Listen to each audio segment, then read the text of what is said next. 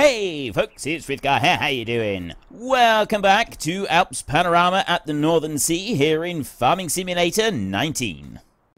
And I can see, from where the curve is, like following that track, there is, I think, if we had manually gone round a second time and just kind of straightened that curve out a little bit better as we were going around the field, it probably would have worked a lot better. It would have worked in our favour a lot better than what we've got at the moment. But now, it does actually seem to be doing what I wanted it to do, which is just follow this really, really long curve all the way round. And as long as it keeps doing that, that's great. That's absolutely fine. I'm pleased with it. I'm quite happy to just let that keep going like that. It doesn't look like I'm going to need to nurse it at all now, so you can stay there, and we will go this way back to you. We've got another 20,000 litres of grass to go and pick up, which I will get now. I'm going to go down that shorter run, and I'm going to pick up some of the mess that's around uh, just the bottom of that. I would estimate maybe another load and a half in here. Oops. I started it. I got this habit of pressing V and B together when I start up, because I normally press V and B together when I um, go to do something. But I didn't when I stopped the tractor just now. I just turned the engine off, so it was still down on the ground. So I pressed B to start the forager up, but then I pressed V and lifted the pickup up off the ground. And yeah, that's, that's, that's not quite so helpful, is it? Right, I think we're going to struggle a little bit to pick up all of this. But then I did say before I wasn't too concerned about picking up all of the little bits around the field. Because give it a day or two, and all those bits will disappear. That's one thing I love about seasons. When you're not using seasons, any little bits of grass that are left in fields are left there until the end of time. They never disappear. Whereas with seasons, they quite conveniently rot away in the field. So if you've left an absolute pig's ear of a mess right across your field, it doesn't really matter because seasons will come along and clean it all up for you. It's like uh, it, it, it's like a maid service comes along and says, "Oh, I see you've made a terrible mess here. Don't worry, don't worry, don't don't you worry about the thing. I will clean it all up for you." And the maid service that is Seasons comes along and cleans up every single little bit, which is absolutely fantastic. It really is. It's brilliant. Now, let's get over the clamp, tip this one out, and then we've got a bit more rolling to do.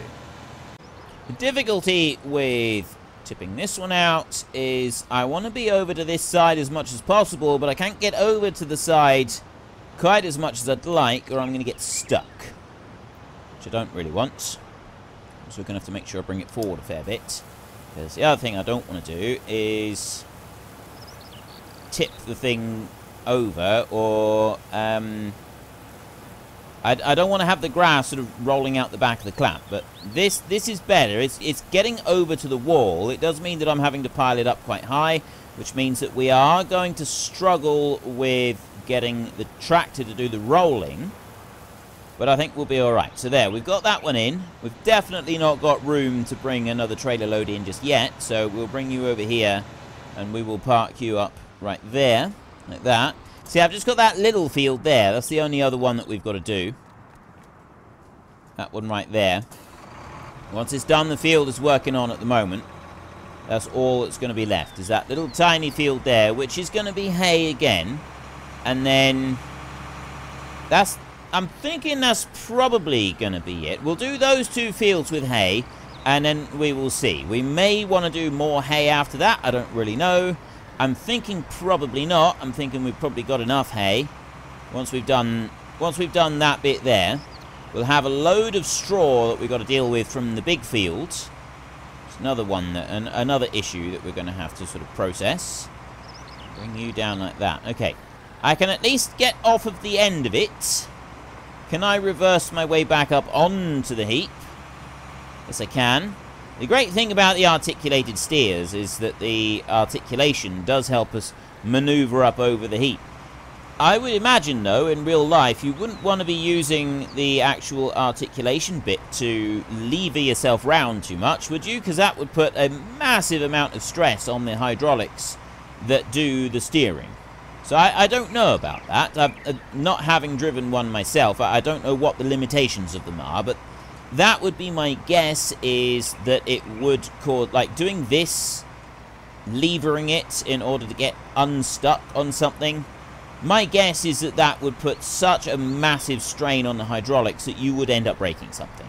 As anybody that does drive these big monstrous great big things for a living do let me know. What's what's the verdict on that? Can you be a little bit aggressive with the steering or have you got to treat it like your great aunt Mildred with a great big pot full of soup and her Sunday best dress who's sitting on a seat beside you.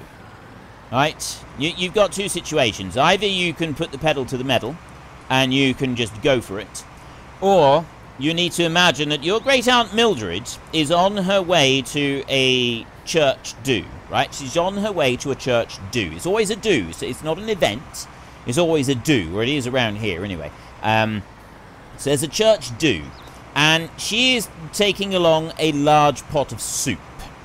Now, naturally, she's got her Sunday best dress on because she's on her way to the do, and uh, you, you only have your Sunday best dress, and she feels the need to hold said pot of soup instead of packing it in the very back of the car and um, sort of wrapping it up with something. No, she's got to hold that baby on her lap because she doesn't trust anything else to hold her precious soup. She has poured her heart and soul into that soup.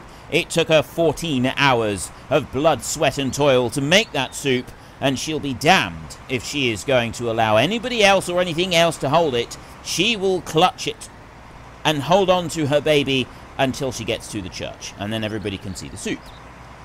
Your job is to drive your great aunt Mildred to the church and deliver both her and the soup safely. If her soup ends up on her Sunday best dress, you can imagine the consequences. In fact, I don't even want to imagine the consequences, they are that severe.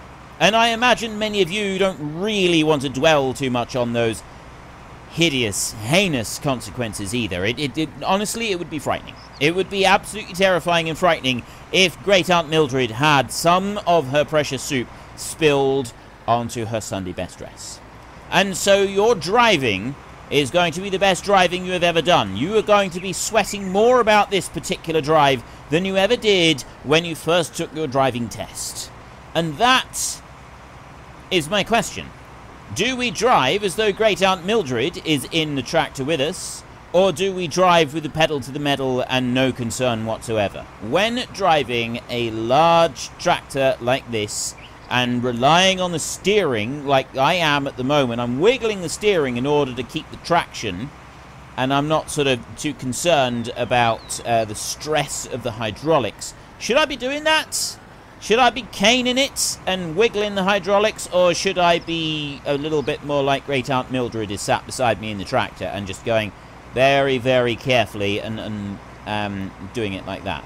So anybody that has experience with these big beasties, get into the comments section and let me know. I'm very curious about this. How much abuse can the hydraulics on the steering on these big articulated tractors take? Um, the only articulated machines I've driven have been wheel loaders and telehandlers, and then little rollers and stuff like that for doing groundworks. And, well, rollers aren't really known for getting stuck. They do slide sideways sometimes, but you can't really do anything with the roller with that. Uh, the wheel loader, I used to... Nobody said whether I should or I shouldn't, but I mean, the hydraulics look fairly substantial, and I'm usually fairly aware of what a hydraulic pipe is able to do, um, or a hydraulic ram. Um, so I would use the the sideways, you know, I would turn the steering wheel to nudge bales and that on a load when I was loading up a, a lorry load, that sort of thing. Um, but not excessively so. I didn't want to. I'm, it's not just the, the steering when doing something like that. I'm also sort of very much aware that when I'm loading a load, if, if you're pushing sideways with an arm on a wheel loader, right, that arm is specifically engineered and designed to go up and down. Right, that load is specifically engineered and designed to move up and down and to lift up and down, and that's where it puts the pressure. And so it's built to have the vertical pressure. It's not built to withstand extreme horizontal pressure. Right? Uh, pushing it sideways is really not something that you want to be doing. So if you're going to nudge a bale, you do so extremely carefully. So my caution with nudging things sideways and using the steering to nudge a little bit of a thing sideways wasn't born out of respect for the hydraulics on the steering. Honestly, that didn't even come into it. I didn't really consider that being an option. It was the fact that the machine itself was not built for twisting sideways. Uh, the, the main arm is not built for twisting sideways. It's not designed to do that. And it was that's the reason that I would uh, sort of treat it quite carefully. Uh, be more an, an Aunt Mildred sort of situation than it would be a um, just hammer it and hope. You know, ha hammer and hope is, is, is all well and good, but sometimes you, you do need to be a little bit more gentle. It's a bit like driving a swing shovel as well. Mean, driving an excavator, um, they're designed to shift tons and tons of dirt, right from even the little small ones that is still designed to move tons of dirt. It might take a little bit longer to move said tons, um, but they are designed to move large quantities of material from one point to another. But they're it's vertical.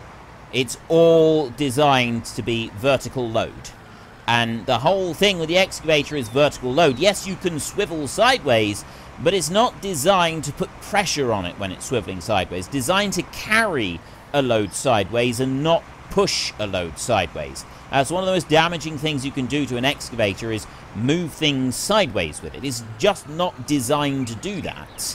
Um, and so when you're using an excavator, you do not push things sideways with it. You scoop it and then you carry it sideways. You don't put pressure on it sideways. And it's a very, very important thing that um, little thing, it, it's a very important thing to remember. So when it comes to articulated steering, I got no idea. I really don't. Right, I'm going to leave that one there for a minute. I'm just going to switch the engine off and we're going to go and have a look and see what has happened to our dear tractor over here. Right, oh, I see. He's just gone up against a tree over here. He's still doing a really good job, actually. I mean, he's he's left a little bit right there, which is unusual, it's got to be said. Doesn't normally do such a thing. But I'm guessing that's just because of the way the field is. So I'm bringing you back over here. If backed around, it did everything it was supposed to do, and then it got up to the tree. So I'm going to go like that. I'm going to hope that it's sending it the right way. It is sending it the right way. It's just going to sort of straighten itself up a little bit. I'm actually really pleased with how this field has turned out. Like, looking at that, the way that it's managed to do... Yeah, we sure, we had some issues to start with, but if I'd gone a second round around the field myself and just kind of straighten that curve out a little bit. It's it's knowing the limitations of the thing that we're using and I didn't fully understand the limitations of the AI vehicle extension using this set of mowers. The more There's more limitations on this than there is with the Combine. The Combine does tend to behave differently, although I'm still going based a lot on what I did with the program in FS17, not now in FS19. Um, big difference between the two. Right, um, uh, you, that's the one that I'm looking for. Right, we've got the 100% compaction. The reason I'm still going is because I want to just compact this little bit here, tiny bit more Just feel that, that needs a little bit more work and sort of over the edge. This end of it is absolutely fine, and I've got no qualms whatsoever about it. I, I don't think we're going to have any issues with the vehicle getting up here, but there's this little clump right here. This is the bit that I think is going to cause us some problems. Right here, this bit that I'm now shunting about on. So if I can roll this down a little bit more, that's just going to make our lives a little bit easier, I think. Bring that up there. Right, right over to this side. Yeah, it's, it's starting to blend out a bit more as well now. That's better. Oops. Okay, now I'm getting stuck. Which I don't really want to do. See, that's... That's starting to look a lot better now. I think I might leave that pretty much as it is, and we'll go and get another load, and we'll bring that in, and I'm going to drag it down that side and we'll tip it down there. And see how that pans out. So I'll bring you in here. I reckon that we got about a load and a half of silage left in the big field. Plus we got this what's over in a small field over here. There's probably another load and a half in there. Um, being as how thick it is on the ground. Um, so we could be looking at three more loads to go into that silage clamp. Which is a lot of silage actually. Let's just have a look here a second. How much have I got in here? Oops, I want to do that. I want to do this. Uh, we've got over half a million litres of silage. 530, 540,000 litres of silage in there right now. That is a massive amount of silage. Right, there's a lot of silage in there. And if we got three more loads, that's another 270,000. Uh, it's going to be 600, it's going to be over 800,000 litres of silage, which, yes, we've easily got room for 3 million litres of silage in there, but we don't need 3 million litres of silage just yet. We may end up needing 3 million litres of silage, and something that I'm going to be looking at getting pretty soon is a standing um, TMR mixer. Something that we can just plonk down in the yard, and then we can bring big loads of TMR over to it. Uh, well, we can bring big loads of silage and loads of bales and, and, and everything. Just dump all of that into it and do it like that. Or we'll be using an auto load Peecon mixer. You know, the big mega mammoth. Um, well, it says mammoth, but I'm pretty sure that is actually mammoth. Um, so the, the mega mammoth Peecon mixer, um, actually, I think it was, uh, said that he's got, I don't know, I'm, I'm, pretty sure he probably provided me with a link as well, but he said he's got one that does auto-load the bales. And he that's what he uses. It auto-loads bales and, um, I don't know about the silage, though. I don't know about the, I don't know about loose silage. So whether or not it loads the loose silage, that could be a bit different. But then well, I've got an idea for that. We've got a milling machine that we'll be able to use. The milling machine is just a priceless machine. It, it picks up everything. That one's been around since at least FS15. I don't remember using it in FS13, but it, I mean, it could very well have been around. It could have been converted from FS13. I definitely used it a lot in FS15, and I used it again a lot in FS17. It is a fantastic machine. It picks up everything. So that one is really good. It can be a little bit slow for picking stuff up, but I think that's a small price to pay for what we actually get, which is a beautiful machine that picks everything up off of the ground. Just going to have a look. Can I see the tractor anymore? Can't really see the tractor up over there anymore. There's no can't really at all. Go like that and just see where it is. Um, J up in the field.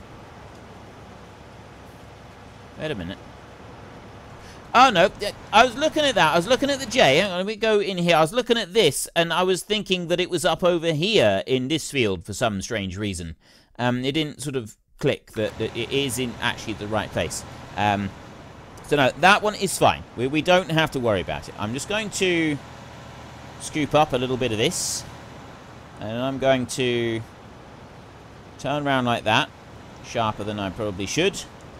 And I'm going to get that. And I'm going to go up here. And we're going to try and pick up some of that extra that is on the ground up there. And then we'll come back down. And we'll get both of those runs there. Because we're, we're spending too long running around the field otherwise. So I'll go through here and grab that bit. There. Yeah, I didn't think I'd get the bit that was right down in the ditch. I didn't realistically think that we were going to be picking that up. And we can anchor around this way and go for that next big curb run there. So we've actually got, we've got most of this. Right, there's very little of the grass that is going to be left behind. And then I can bring you round this way. Turn like that. And now we can head up across the field and we come back down and that's, yeah, I'm not too worried about those little, there's a couple little bits left, but it's not going to make any difference really. We might try and just zoom through it when we finish up the field completely. I get this piece right here. We're then... What did I say? I said about load and a half. I'm not sure that we are going to get a load and a half out of this field. Looking at what we've got left over Well, that's about all we've got time for in today's episode, so we're going to go and take a little bit of a break. We need to chill out on the beach, relax, and build up some strength. So while we're doing that, if you've enjoyed the episode, then could you please head down below and give us a like? And if you really enjoyed it, then please tell your friends all about me. Get them to come and watch as well. That would be awesome. And until next time, thank you very much for watching. This is Frithgar. Goodbye, and see you later.